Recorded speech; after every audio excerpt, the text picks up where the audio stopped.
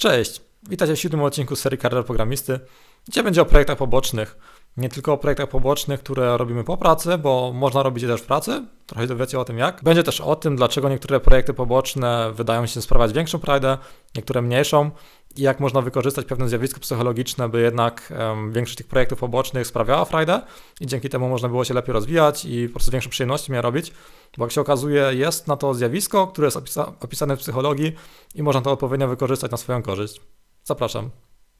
Przypominam, że kariera programisty to jest seria, nie jest tylko ten jeden filmik, więc jeżeli tylko na niego trafiliście, to możecie kliknąć na całą serię tych filmów w playliście. Macie tam m.in. o pracy jako freelancer, trochę o wycenie, negocjowaniu stawek czy o rekrutacji jako programista. Zacznijmy od tego, jak można robić takie projekty poboczne w ramach etatu, nie pracując po godzinach, tylko w ramach naszych regularnych godzin pracy. Między innymi Google jest najsłynniejszy przykład, że Google daje możliwość pracownikowi, by przez 20% swojego czasu pracował nad jakimś projektem pobocznym, który jest w jakiś sposób przydatny dla firmy, ale nie jest bezpośrednio związany z tym, co programista ma przydzielone.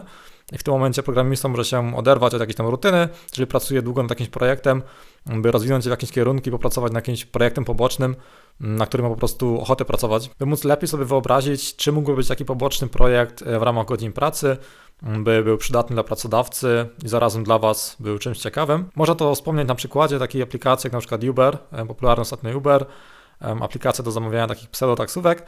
Mm, jeżeli firma ma już oprogramowanie serwerowe, które mm, przetwarza masę danych związanych z lokalizacjami, z zamawianiem samochodów, które przewożą osoby, można by na przykład jako projekt poboczny zbudować mapę, która pokazuje na graficznej mapie aktywności, gdzie jest najczęściej zamawiana jakaś taksówka, jakie są najczęstsze trasy i tak dalej. Myślę, jeżeli jest programista, który zajmuje się aplikacją mobilną, to miałbym na przykład bardzo ochotę stworzyć jakąś webową mapę z nałożonymi tak zwanymi hitmapami, pokazującymi jakieś aktywności. Mogło być to coś ciekawego, czy mógłbyś zajmować takich 20% e, swojego czasu.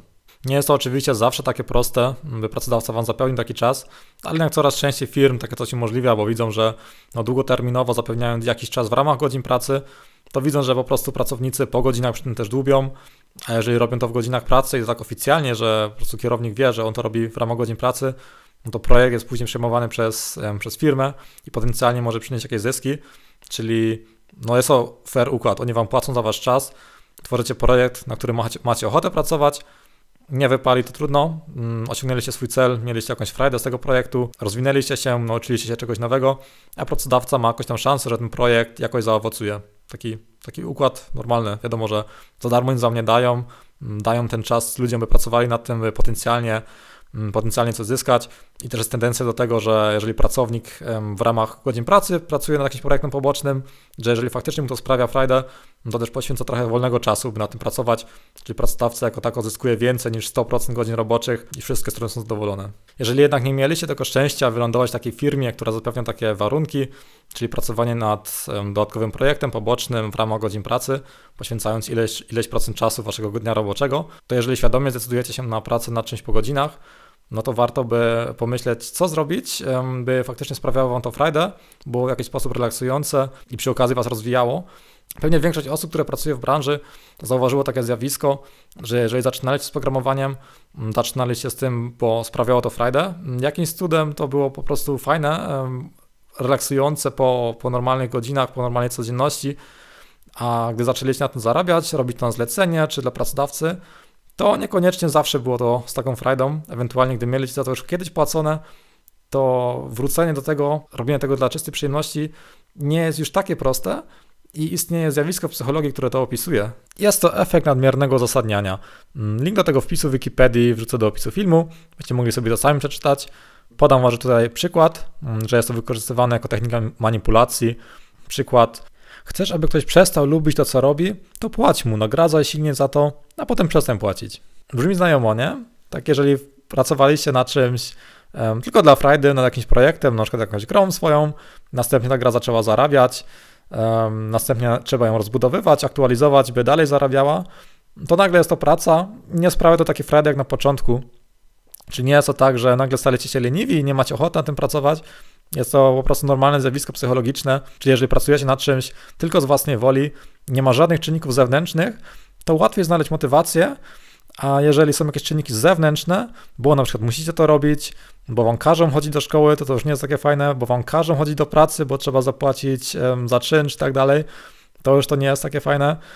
I tak samo robienie projektów własnych, projektów pobocznych, jeżeli to robicie z powodu, z powodu takiego, że o, zrobię projekt poboczny, wrzucę aplikację gdzieś do pobrania za 5 zł i będzie mi zarabiała dodatkową kasę, to nie sprawia to taką frajdę jak robienie projektu tylko dla frajdy, tylko dla samej frajdy tworzenia czegoś.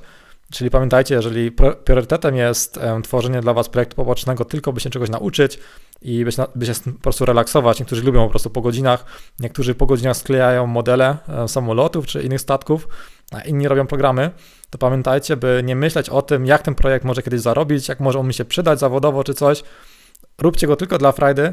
Starajcie się unikać wszystkich czynników zewnętrznych, bo jeżeli czynniki zewnętrzne wejdą, to pojawia się ten efekt nadmiernego uzasadniania i po prostu przestaje to sprawiać frajdę. Więc jeżeli, jeżeli chcecie zmaksymalizować szansę, by projekt poboczny był relaksujący, sprawiał frajdę był po prostu przyjemnością, to unikajcie czynników zewnętrznych, które w jakiś sposób uzasadniają, dlaczego to robicie. Efekt ten obserwowałem również w przypadku różnych projektów związanych ze studiami, mm, nie tylko z pracą dyplomową. Rozmawiałem z kolegą z pracy, który mówił o projekcie, który robił na studiach. Mm, wybrał ten projekt z tą technologią, ponieważ w pracy akurat robił w tej samej technologii coś. Stwierdzi, że wybierze tę technologię, do podszkoli sobie to, by w pracy nad tym lepiej pracować.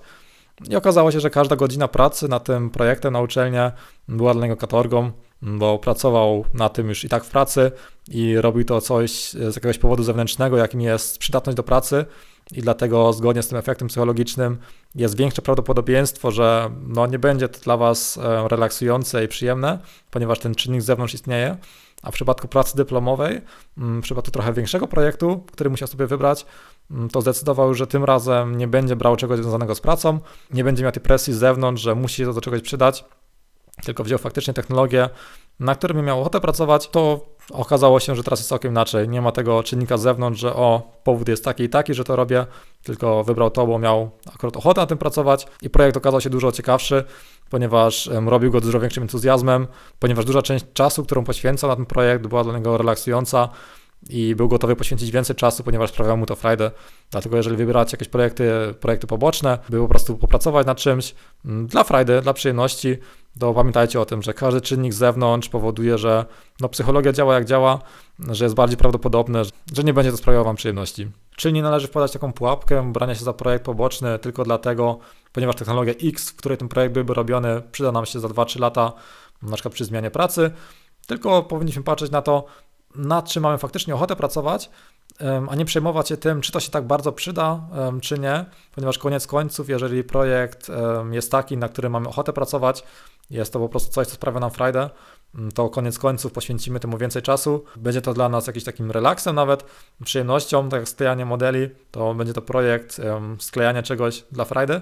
Mm, poświęcimy więcej czasu na programowanie, a generalnie nie więcej kodu piszemy, nie więcej godzin przeprogramujemy, to koniec końców jesteśmy lepsi i długoterminowo bardziej się opłaca właśnie robić projekty poboczne typowo, typowo tak, by czynników zewnętrznych było jak najmniej, by było to maksymalnie przyjemne dla nas. By tak podsumować informacje z tego filmu, praca nad jakimś projektem pobocznym niekoniecznie musi być pracą po godzinach, ponieważ niektóre firmy pozwalają, by pracownik pracował nad jakimś projektem pobocznym w ramach normalnych godzin pracy, nad jakimś projektem, na którym mają ochotę pracować, ponieważ jeżeli mają ochotę na tym pracować, to są bardziej zmotywowani i efekty mogą być ciekawe.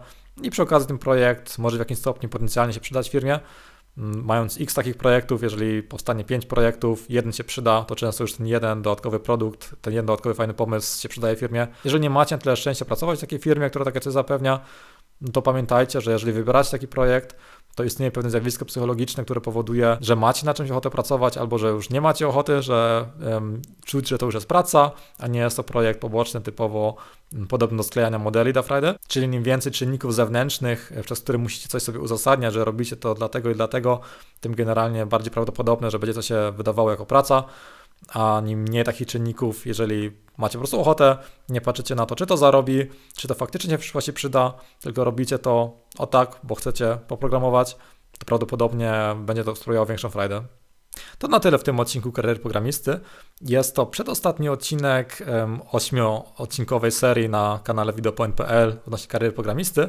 W ostatnim, ósmym odcinku tej serii mam zamiar podpowiadać na jak największą ilość pytań, które zadajecie, czyli jeżeli macie ochotę zadać pytanie pod tym filmem, pod komentarzem, e, z tym wpisem na Facebooku, to zadajcie te pytania. Postaram się w ostatnim odcinku odpowiedzieć na jak największą ilość pytań, które zadacie. To tyle. Cześć.